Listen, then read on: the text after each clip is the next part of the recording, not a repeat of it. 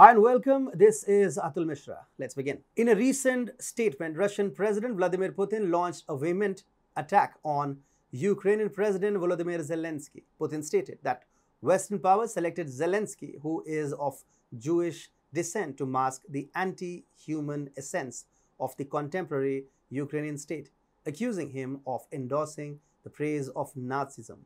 This isn't the first instance Putin has targeted Zelensky's Jewish lineage, previously denigrating him as a disgrace to the Jewish community. Mikhail Podolyak, an advisor to the Ukrainian president, labeled Putin's remarks as a monstrous lie, a fabrication utilized to sanction mass atrocities. Moreover, liberal historians, fat on Western paychecks, have united to denounce Putin's assertions as factually erroneous and morally abhorrent, arguing that they tarnish the memory of those who suffered under Nazi operation. In recent years, the relationship between Jews and Ukraine seems to have taken a downward turn, indicating a concerning strain in their relationship.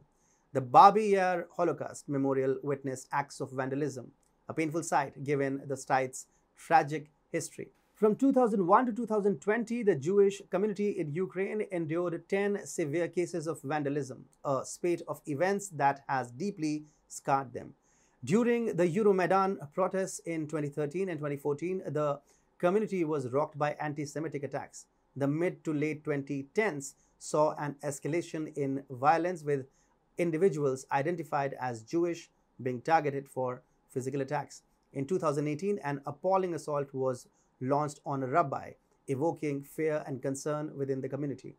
A significant number of assaults, amounting to 15 documented cases, were reported between 2015 and 2019. These assaults predominantly occurred outside synagogues and community centers in cities like Odessa and Kharkiv.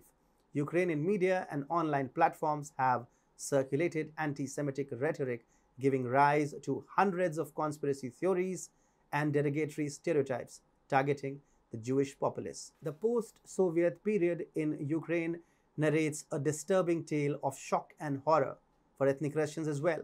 A series of clashes and conflicts have marked this era, beginning with the Sevastopol altercations in 2006, where linguistic and cultural disputes led to 15 documented skirmishes. That same year, similar disputes stirred skirmishes in Simferopol. A significant turn came with the annexation of Crimea in 2014, leading to targeted attacks on ethnic Russians. Following this, the initiation of the Donbas conflict in 2014 witnessed around 13,000 fatalities over the years, spanning from 2014 to 2021, specifically in the Donetsk and Luhansk regions. 2015 was marked by horrifying accounts of abductions and torture in eastern Ukraine, with hundreds of incidents documented involving unlawful detentions.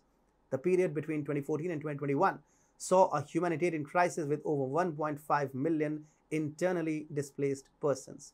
Further, the decade between 2010 and 2020 was rife with the propagation of hate speech and propaganda, with about 200 significant cases recorded, escalating existing tensions and divisions. In a tragic incident on May 2, 2014, nearly 50 pro Russia demonstrators were burned alive in Odessa, indicating a severe escalation in the conflict.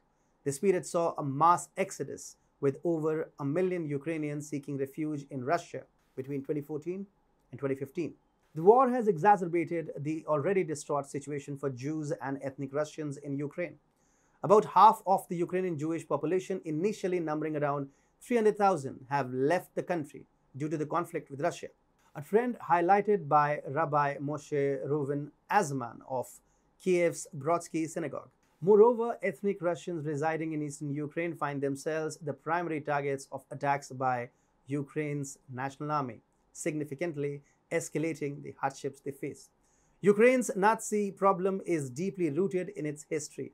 During the war, several armed factions, including the notorious Organization of Ukrainian nationalists or OUN collaborated with Nazi Germany.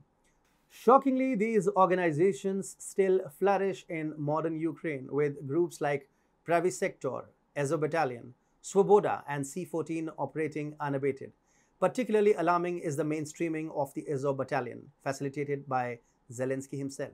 the persistence of other groups can be attributed to the government's indifference or sometimes even tacit understanding, allowing them to continue their activities within the nation's borders. To comprehend the unexpected ascendancy of Zelensky, it's vital to consider the substantial influence of two individuals Ukrainian oligarch Igor Kolomoisky and American diplomat Victoria Nuland. Kolomoisky has been a staunch supporter of Zelensky, significantly bolstering his candidacy through media promotion via his media conglomerate.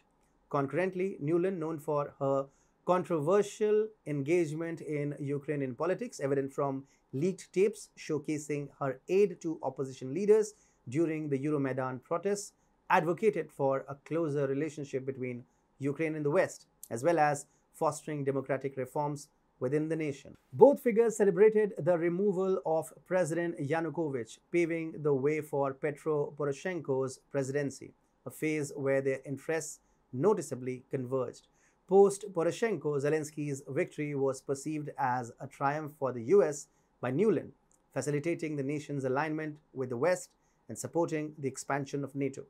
Presently, the democratic establishment, or so called deep state, backs Zelensky, viewing him as a quote unquote useful idiot and a Jew instrumental in extending NATO's boundaries to Russia's doorstep.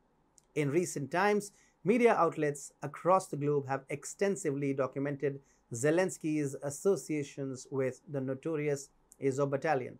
Despite the battalion's well known anti Semitic stance and its roots in Nazi ideologies, Zelensky persists in labeling these members as warriors. This raises concerns about the propagation of neo Nazism within Ukraine, as the president's endorsement potentially amplifies their extremist beliefs and actions. Furthermore, Zelensky's primary financial supporter, Ukrainian Jewish oligarch Igor Kolomoisky, has been significantly involved in backing not only the Azov battalion but also various other extremist militias. Notably, the Azov battalion, now integrated into the Ukrainian National Guard, is perceived as the most ideologically zealous and militarily aggressive unit in the ongoing conflict against pro Russian separatists in the eastern Donbas region. Considering the current circumstances in Ukraine, where distressing events have unfolded impacting Jews and ethnic Russians, Putin's actions signify not aggression but a step toward intervention, and restoration. Contrary to widespread portrayal, Putin emerges not as a villain, but rather as a hero in this scenario, taking decisive actions to curb the atrocities being faced by these communities, while others merely engage in dialogues without substantial actions.